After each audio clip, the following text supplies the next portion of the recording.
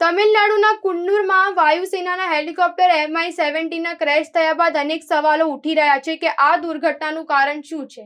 પરંતુ હવે આ અકસ્માતનું કારણ સામે આવી શકે છે. સ્થળ પરથી બોક્સ મળી આવ્યું છે.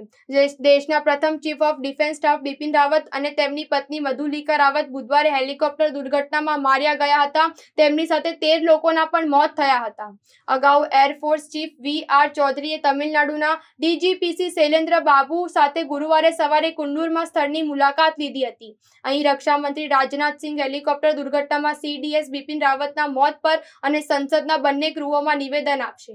ઉલ્લેખનીય છે કે બ્લેક બોક્સ એક મહત્વપૂર્ણ ઇલેક્ટ્રોનિક ઉપકરણ જેને ફ્લાઇટ ડેટા રેકોર્ડર તરીકે પણ ઓળખવામાં આવે છે, જે ફ્લાઇટ વિશે ઇઠ્યાસી મહત્વપૂર્ણ પરિણામો રેકોર્ડ કરે છે.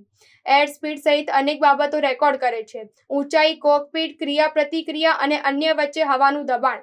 જ્યારે અકસ્માત થાય છે ત્યારે અકસ્માતનું સાચું કારણ બ્લેક બોક્સથી જાણી શકાય છે.